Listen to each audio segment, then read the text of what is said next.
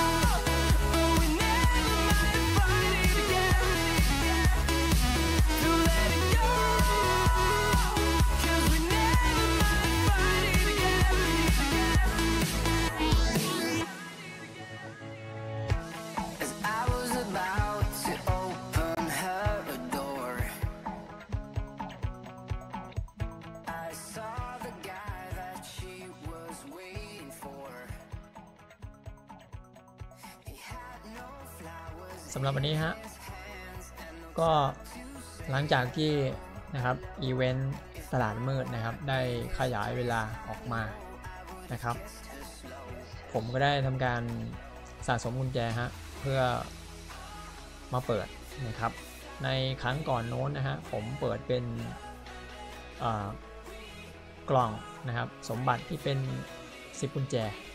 นะครับ ซึ่งอ่า ไม่ค่อยได้อะไรหรอก แต่คราวนี้นะครับหลังจากที่เขาอัปเดตนะครับอัปเดตเกมนะครับเป็น เป็นเวอร์ชันล่าสุดนะครับ แล้วก็การอัปเดตของการเปิดกล่องสมบัติตลาดเมืดนั้นได้เปลี่ยนไปเมื่อก่อนก็คือสามารถลุ้นนะครับเปิดได้หุ่นเลย โดยได้หุ่นได้อาวุธนะครับ แต่ว่ารอบนี้เขาก็ จะให้ได้ยากขึ้นนะครับ แต่ว่าจะนำเป็นชิ้นส่วนนะครับ มาให้แทนนะครับ รอบนี้ผมจะมาเปิดเป็นกล่อง 100 นะครับ ซึ่งผมก็สะสมนะครับ สะสมเอานะฮะเดี๋ยวเรามาดูกันนะครับนี่นะฮะผมมีทั้งหมด 330 นะครับ มีทั้งหมด 330 เดี๋ยวเรามาเริ่มเปิดกันที่กล่อง 10 ก่อนนะครับ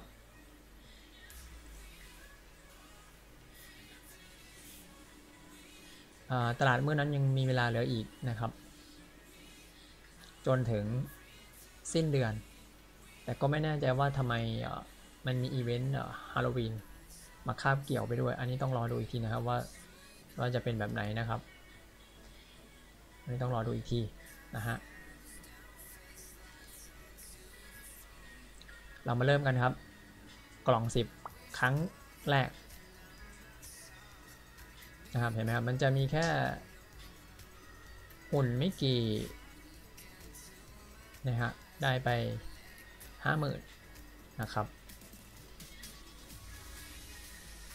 50,000 เท่านั้นเอง ต่อครับ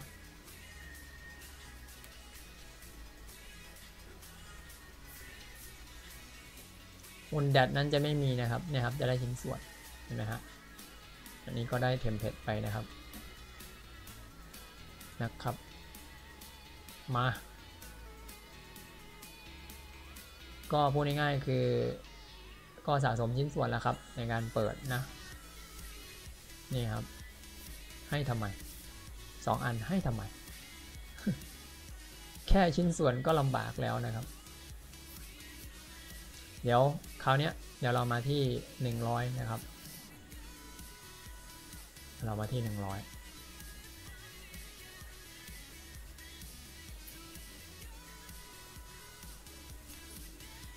ซึ่ง 100 นั้นจะได้อะไรมา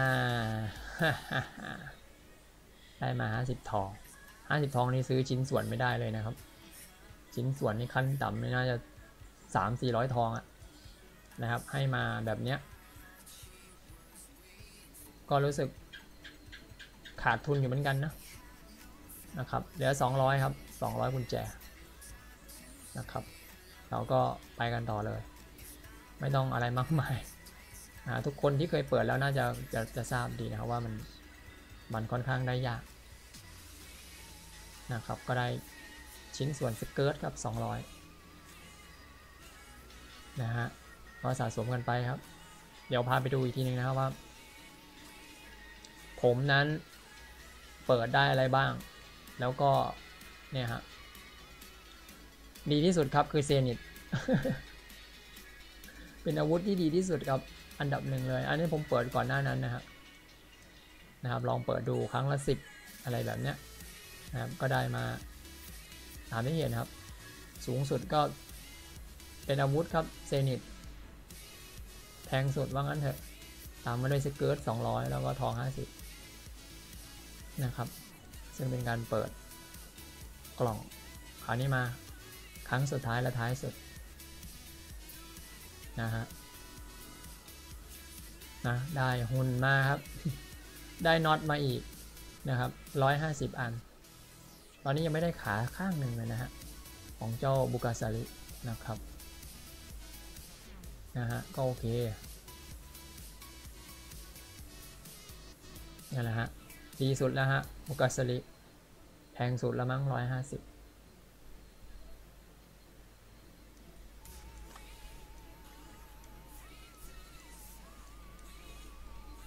แค่นี้แหละฮะนะก็ไม่มีอะไรที่น่าตื่นเต้นเลยครับสำหรับการลุ้นเนี่ยครับสเกิร์ตรับไป 7,350 ชิ้น นะครับ เป็นอาวุธที่ไม่ไม่ได้ไม่ค่อยได้อยากได้เลยนะครับ อยากได้ไอหุ่นมากกว่าครับนี่ยครับ เจ้า Inquisitor นะครับ กับพวกหุ่นนั่นแหละที่ผมอยากได้นะ อาวุธเอาไว้ที่หลังนะครับนี่ครับตามที่เห็นครับ ดูทองฮะทองที่เคยสะสมมาเป็นหมื่นนะครับ เหลือแค่นี้นะครับ แล้วก็ได้ชิ้นส่วนแค่นี้ครับ ไม่เต็มนะครับ คราวนี้ผมจะอธิบายเพิ่มเติมในส่วนของ ของเอ่อ MK2 นะครับ MK2 ก็คือ Mark II Mark II ของหุ่นแล้วก็อาวุธนะครับเดี๋ยวอธิบายต่อเนื่องเลยนะฮะ มาดูกัน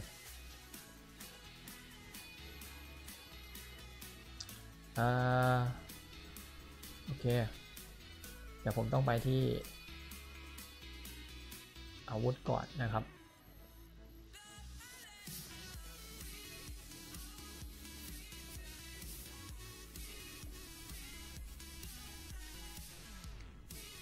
ไปที่หุ่นก่อนก็แล้วกันนะครับ ไม่ต้องอาวุธไปที่หุ่นนะครับ เดี๋ยวเรามาดูกันว่า การเขาเรียกว่ายกเครื่องนะครับ ในเกมเรียกว่ายกเครื่องนะครับ ก็คืออัปเกรดอัปเกรดให้มันให้มันคือเราอัปเกรดนั้นมันมันต้องค่อนข้าง โอเค มาฮะ มาดูการอัปเกรดนะครับ หรือว่าการยกเครื่องใช่ไหมฮะการยกเครื่องนั้นนะครับก็คือ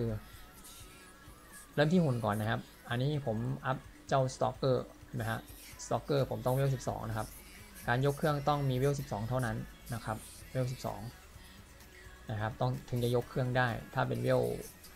ธรรมดายังไม่เต็ม 12 ก็จะยกไม่ได้ดูนะเนี่ยฮะยกไม่ได้นะ ก็จะเป็นอัปเกรดธรรมดานะครับเนี่ยก็อัปเกรด ธรรมดานะครับ ส่วนถ้าเราจะยกเครื่องเนื่องจากเราเวล 12 แล้วนะครับ เราก็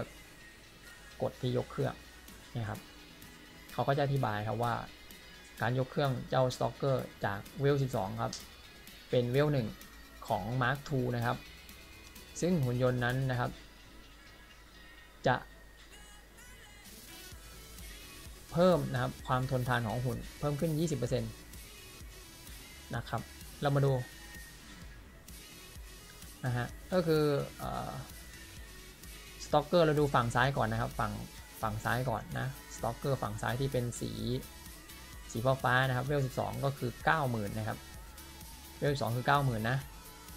นะครับ พอเรายกเครื่องเสร็จปุ๊บนะครับ มันก็จะไปเริ่มที่เวลหนึ่งใหม่ โดยมาดูฝั่งขวานะครับ โดยมาดูฝั่งขวาเนี่ยครับ ฝั่งขวาคือเวลหนึ่งก็คือห้าหมื่นห้าพันสองร้อยนะครับค่า HP นะครับ คือมันจะเริ่มหนึ่งใหม่นะครับ แต่ว่ามันจะมี HP เพิ่มขึ้นนะครับ 20%จากเวลหนึ่งนะครับของ Stalker เห็นไหมครับ Stalker ตอนนี้ 46,000นะครับ ก็จะเพิ่มขึ้นเป็น 55,200 นะครับ เมื่อเราอัปเกรดจากเวล1จนถึงเวล12 นะครับ เจ้า Stalker นะครับ จากเดิมเวล12 นั้นคือ 90,000นะก็จะเป็นเวล12 นะครับ108,000 ก็คือพูดง่ายๆก็คือเพิ่มมาอีก 10,000กับอีก 8,000 นะครับ ซึ่งถามว่าดีไหมสำหรับตัวผมแล้วนะครับสำหรับตัวผมนะ เราเสียค่ายกเครื่อง 500 500ทองนะครับ แล้วเราต้องมาเสียเงินในการอัปเกรดจากเลเวล1ยัน 12 อีกครั้งนะครับ โดยหุ่นนั้น พิ่มขึ้นมาจากเดิมคือ 18,000 นะครับสำหรับตัวผมแล้วสต็อกเกอร์ไม่คุ้มไม่คุ้มนะครับ ถ้าเล่นเวล 12 ก็น่าจะเวล 12 ไปเลย อันนี้เป็นความคิดเห็นส่วนตัวของผมนะ แต่ถามว่ามันดีขึ้นไหมมันดีขึ้นนะครับ มันดีขึ้น คราวนี้ไปไปดูที่อาวุธนะครับ ไปดูที่อาวุธ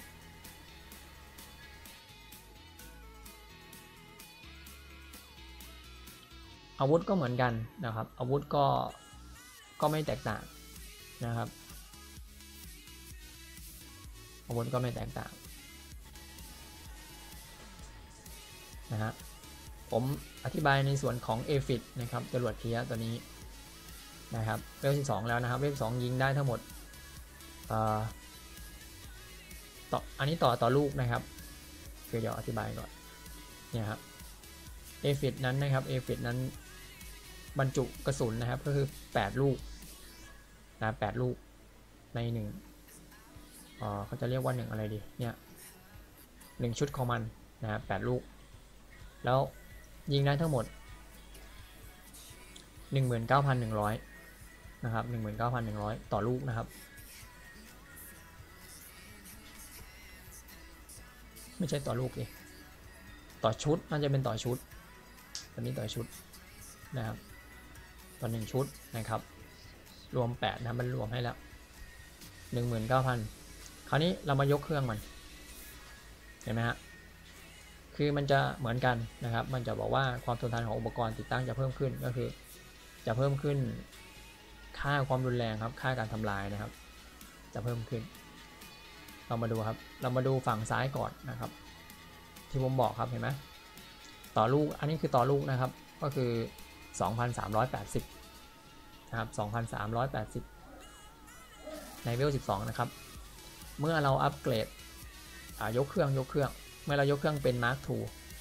มาดูที่ฝั่งขวาสีเขียวนะครับ อันนี้จะ a f i t มัน a f i t นั้นมันจะไม่เริ่มที่เวลหนึ่งนะครับ มันไม่มีนะ มันจะเริ่มที่เวลห้านะครับ แต่ว่าอันเนี้ย Mark ตัว Mark II นี่จะเริ่มที่เวลหนึ่งก็คือต่อต่อต่อหนึ่งมิสไซล์นะครับ1,010 แล้วก็เพิ่มขึ้นเป็น 1,110 จนมาถึงเวล5เวล5ก็จะแตกต่างกันนะครับ คืออันนี้ 1,230 ตัวนี้จะ 1,476 ซึ่งอาวุธนั้นนะครับ ซึ่งอาวุธนั้นค่อนข้างเห็นได้ชัดว่ามันมันแรงขึ้นนะครับ มันแรงขึ้น คราวนี้เรามาดูกันที่เวล10เวล12เลยนะฮะ เรามาเริ่มที่ Mark II ในเลเวล10ใช่ไหมครับ Mark II ในเลเวล10 นั้นก็คือ 2,364 ซึ่งใกล้เคียงกับเลเวล12 ก็คือ 2,380 นะครับ แตกต่างกันแค่ 16 นะครับ แล้วท่านี้คราวนี้อัพขึ้นมาเลเวล11 ก็เป็น 2,006 เลย อันนี้ก็คือต่างกันไปเลยครับ ต่างกันเกือบ 300 นะครับ แล้วคราวนี้มาที่เลเวล12 ก็จะเห็นได้ชัดเลยครับ นะครับ ต่างกันประมาณ 500 นิดๆนะครับ ต่างกัน 500 นิดๆนะ8ลูกเลยนะ ต่างกันประมาณ 4,000ครับตู่ซึ่งอาวุธผมว่าการยกเครื่องอาวุธใน Mark II ควรจะทำก่อนการยกเครื่องหุ่นนะฮะควรจะทำก่อนนะผมว่านะสำหรับตัวผมเองในความคิดเห็นเอง เพราะว่าถ้าเราไปยกเครื่องตัวตัวหุ่นเอง มันจะทำให้ตัวหุ่นนั้นลดค่า SP ลงไปก่อนนะครับ แล้วค่อยกว่าเราจะอัพอัพอัพจนถึงเลเวล12 นะสำหรับผู้เล่นที่แบบไม่ไม่ใช่สายเติมนะฮะอาจจะใช้เวลานานนะครับ แต่ว่าถ้าใครที่มีพร้อมนะครับไม่ว่าจะเป็นทองหรือว่าเงิน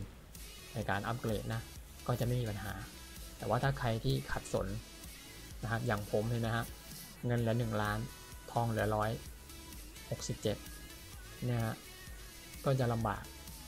ในการอัพเราต้องยืนหยัดที่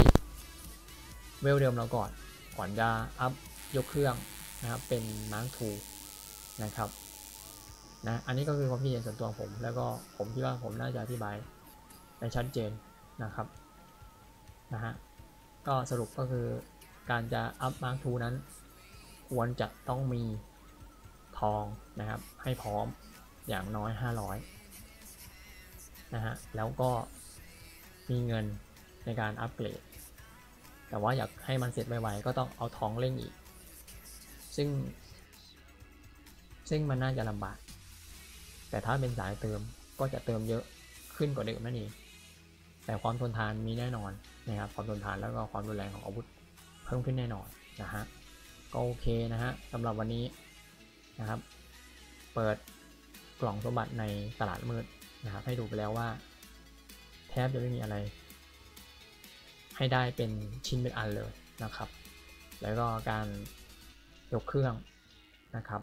เป็น MK2 นะครับหรือว่า Mark II นะครับ ก็เพิ่มขึ้น 20%ไม่ว่าจะเป็นตัวหุ่น แล้วก็อาวุธนะครับ ส่วนชิ้นส่วนนะฮะ บางคนสงสัย โอเค เดี๋ยวมาดูกัน ชิ้นส่วนนั้นมีมีบางคนสงสัยว่า มีคนมาถามผมฮะว่าเราไปซื้อได้จากที่ไหน ตอนนี้ยังซื้อได้ที่เนี่ยฮะที่โปรโมชั่นครับ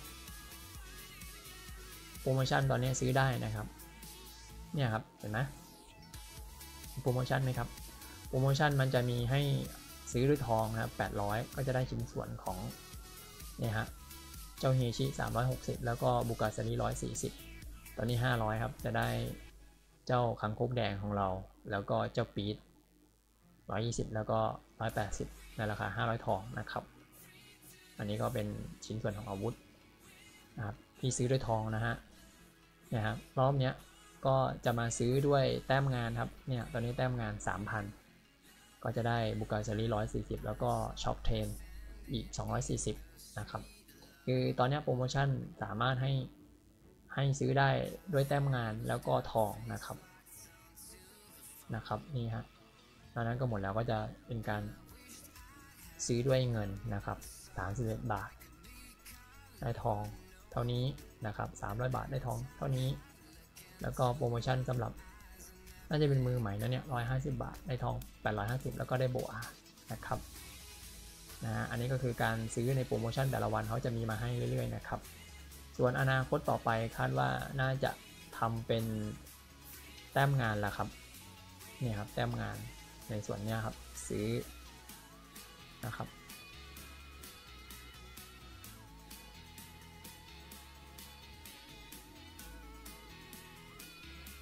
เนี่ยฮะลงทดลองปฏิบัติการนะครับเดี๋ยวรับไปก่อนไหลไป 40 ก่อนครับ ตอนนี้ไม่มีตังค์เลยนี่นะครับสำหรับ ผู้ที่เริ่มเล่นใหม่นะครับ แล้วก็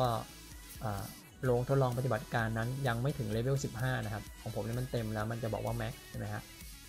คือจะมีเครื่องเครื่องหมายถูกที่วงกลมไว้นะครับ ด้านบน ตอนนี้เขาจะเพิ่มให้เป็น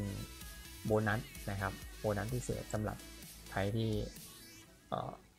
สั่งซื้อในคำสั่งคิวนะครับนะครับคำสั่งคิวตอนนี้นะครับเนี่ยมันก็จะขึ้นเรื่อยๆ แต่ว่าถ้าผู้เล่น ที่ถึงเวล 15 แล้วก็จะไม่สามารถได้โบนัสนะก็จะได้ตามนี้นะครับแต้มงานนั้นสามารถซื้อชิ้นส่วนได้นะครับนะส่วนโรงงานปฏิบัติการนั้นเขาบอกว่าจะทำเป็นเวอร์ชัน2นะครับ เดี๋ยวรอดูอีกทีว่าหลังอีเวนต์ตลาดมืดเสร็จไปหรือว่าหลังอีเวนต์ฮาโลวีนหมดแล้วนะครับ ทางเกมเขาจะปรับเปลี่ยนนะครับโรงงานนะครับ นะครับโรงงานในเวอร์ชัน2นะครับแล้วก็แต้มงานในเวอร์ชัน2 เป็นแบบไหนนะฮะแต่ตอนนี้ก็คือแต้มงานกับทองนะครับก็สามารถไปซื้อในโปรโมชั่นในแต่ละวันก่อนนะครับ ก็โอเคฮะสำหรับวันนี้ก็อธิบายในส่วนของ หุ่นและอาวุธใน MK2 นะฮะว่าจะต้องทำยังไงแบบไหนนะฮะ นะก็โอเคฮะสำหรับวันนี้นะครับก็เอาไว้เท่านี้ก่อนนะครับแล้วไว้พบกันใหม่ในครั้งต่อไปนะครับ ขอบคุณสำหรับการติดตามรับชม ไปพบกันใหม่ สวัสดีครับ